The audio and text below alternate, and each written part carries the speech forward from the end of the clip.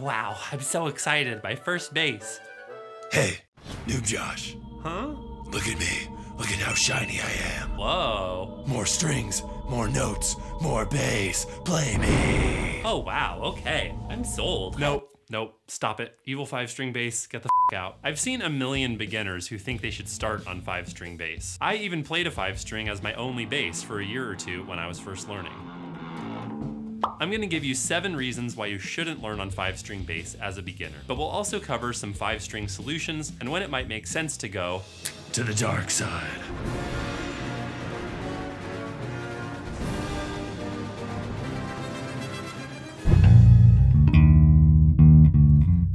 Having muting problems. Everything's fine. There's no rumble. Shut up and play. Oh, okay. Muting means keeping the strings you aren't playing from ringing, so you don't sound like a muddy earthquake.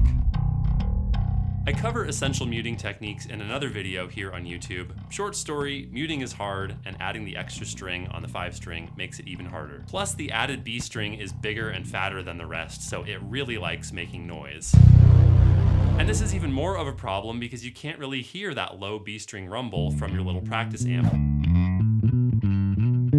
But it makes a huge mess in a bigger amp or a venue's PA.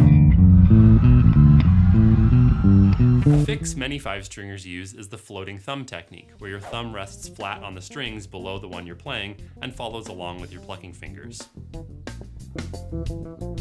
This does help a lot with the B string's crippling rumble addiction, but it's another thing that adds to the learning curve, which you wouldn't have to fight with as much on a four string. Hmm, why aren't the notes changing? You're plucking the wrong string, man. Get it together. More practice. More. More. Successfully hitting the right strings is already hard for beginners on four string. You look at your fretting hand, you press down, you pluck, you hear a weird noise you weren't expecting, because your plucking fingers are on a completely different string. So adding one more string to the mix equals learning being harder. For more in-depth mathematical observations, be sure to subscribe to Bass Buzz. Also, most five-string basses have tighter string spacing, meaning the strings are actually closer together than on a four-string. That means there's more strings crammed into a smaller area, so it's even easier to mix up the strings when you're first starting.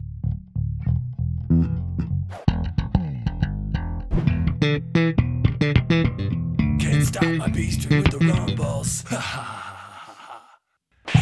is hard enough to learn as it is, even with my idiot-proof slap videos. But on 5-string, you'll struggle even more with two issues. One, accuracy. As you know, if you've tried any slapping, your thumb loves to hit the wrong string when you're first starting out. Well, now there's a big fat B string interfering every time you try to slap the E string. And plus, with the tighter string spacing, there's an even smaller hitbox. And two, muting, which is already extra hard when slapping because you can't use this thumb to mute. So clean slapping requires a lot of fretting hand muting, which is a huger pain with the B string in the mix.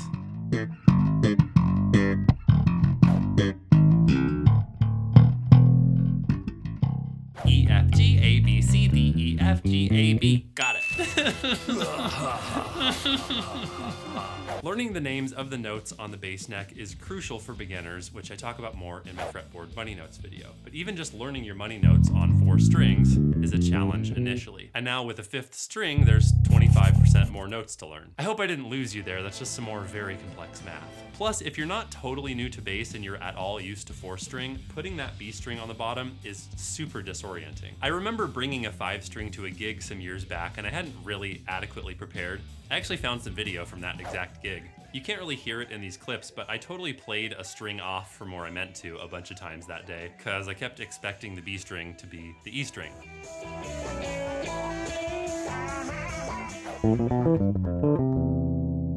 There are a couple of physically clunky things about five string basses. They have more neck, more strings, bigger bridge, more tuners, so they're generally heavier than four string basses.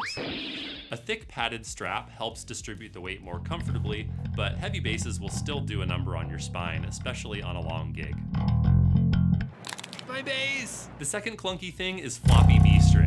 The B string is bigger and fatter than the other strings, but it runs the same distance from nut to bridge, so it's under less tension and can feel floppy on some basses. The fix for this is multi-scale basses like Dingwalls, where the B string actually gets to be longer than the G string.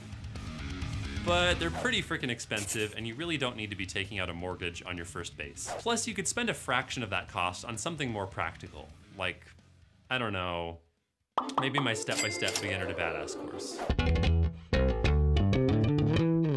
Five string bass is just not the classic sound in many genres. If you bust out low B's, C's, and D's on a Motown tune, it just don't sound right.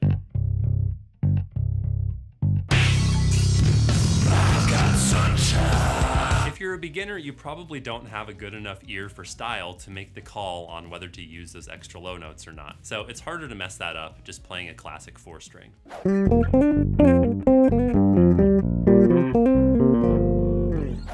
You're playing a style where five strings do fit, it's easy to overdo it. You might be super excited about your brand new shiny B string, but to experienced ears, you sound like a five string noob if you just sit on those super low notes all day. Hmm.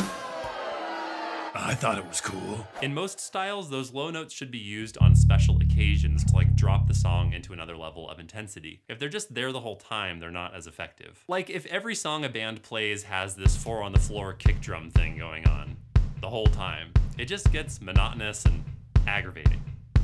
But if you start mellower and then build to that intensity with purpose, it's actually exciting.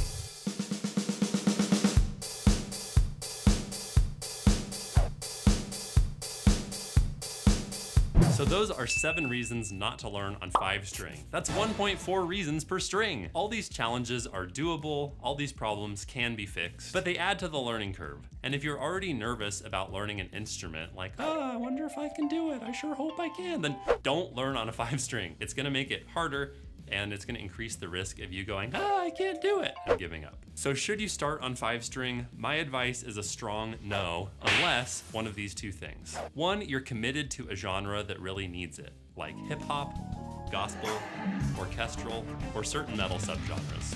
Or two, you really, really want to, and it just feels right, and screw this Josh guy anyway, and all these sexy five string clips in this video just made you feel like, I need to make that sound. Well, I'm convinced. I'm going back to four string.